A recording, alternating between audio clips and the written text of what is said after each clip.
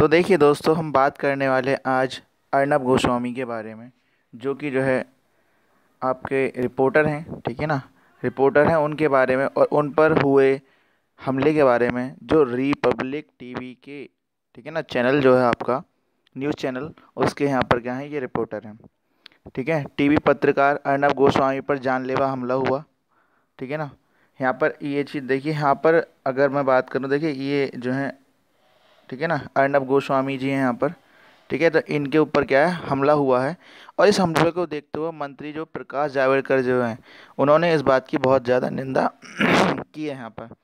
TV पत्रकार अर्नब गोस्वामी और उनकी पत्नी पर 22 अप्रैल की रात दो बजे करीब अज्ञात व्यक्तियों ने हमला कर दिया।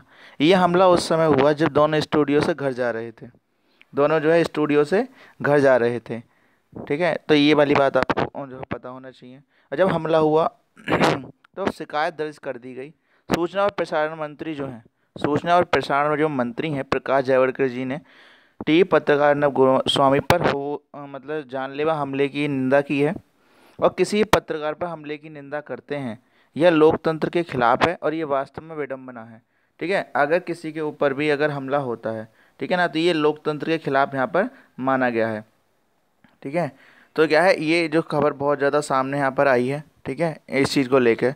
और क्या है, इस हालाँकि इन दोनों के प्रकार की चोट इनमें नहीं आई है, इन दोनों को किसी प्रकार की। अर्णब गोस्वामी और उनकी पत्नी पर हमले सिलसिले में दो लोगों को गिरफ़्तार किया जा चुका है। और इस मामले में एन एम जोशी मार्ग पुलिस स्टेशन पर की धारा तीन सौ इकतालीस, तीन सौ इकतालीस और पाँच सौ चार के तहत एफआईआर दर्ज की गई है। मिली जानकारी के अनुसार हमलावरों ने गोस्वामी को गोली, गोस्वामी को मार्च से गोस्वामी को हमलावरों ने, ठीक है ना, क्या हुआ? मार से आगे निकलने और उसे रुकवा दिया और हाथों से हमला कर गाड़ी का शीशा भी तोड़ने की कोशिश की। इन हमलावरों के पास स्याही से भरी हुई दो बोतलें थीं, जिसे उन्होंने अर्नब गोस्वामी की कार पर फेंक दिया। जब कार पर जब फेंका तो शीशा जो है तोड़ने की कोशिश की गई और जो शीशे के सामने की जो चीज़ें थी वो अच्छे से नहीं दिख रही थी। पीछे वाली कार में चल रहे सुरक्षाकर्मियों ने दो हमलावरों को पकड़ लिया। पुलिस के हवाले उन्हें कर दिया, ठीक है? ये चीज़ जो है इस समय सामने आ रही है। ठीक है बहुत ज़्यादा प्रॉब्लम हुई। बता दें कि अर्नब गोस्वामी ने हाल ही में लाइव टीवी पर at least Gill of India से जो है इस्तीफ़ा दिया है जिसकी काफ़ी दिनों तक चर्चा भी हुई थी। इसके बाद छत्तीसगढ़ के रायपुर ज़िले पुलिस ने कांग्रेस ने जाती कांग्रेस नेताओं की शिकायत जो है अर्नब के खिलाफ दो शिकायत दर्ज भी की हैं। अच्छा।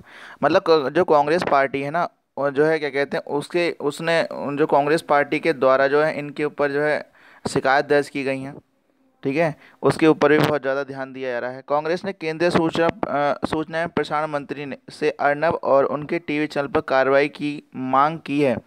कांग्रेस का कहना है कि चैनल एवं अर्नब के प्रसारण के नियमों का उल्लंघन यहाँ पर किया गया है, ठीक है? ऐसा उनका कहना है। और जावड़ेकर को पत्र में लिखा गया है कि महिला कांग्रेस प्रमुख सुष्मिता देव, जो सुष्मिता देव ने कहा है कि मंगलवार को अर्नब के चैनल रिपब्लिक। भारत पर प्रसारित एक शो में एंकर लोगों को गुमराह करने और उनमें द्वेष फैलाने का काम कर रहा था। देव ने इसे केवल टेलीविज़न नेटवर्क्स रूल्स उन्नीस चौरानवे का उल्लंघन करार दिया है और दिल्ली में वहाँ के कांग्रेस अध्यक्ष राकेश चौधरी और नागपुर में महाराष्ट्र सरकार के एक मंत्री नितिन राउत सहित देश में और भी और भी कई स्थानों पर कांग्रेस कार्यकर्ताओं ने अर्नब गोस्वामी के विरुद्ध आपराधिक मामला दर्ज किया है यहाँ पर, ठीक है?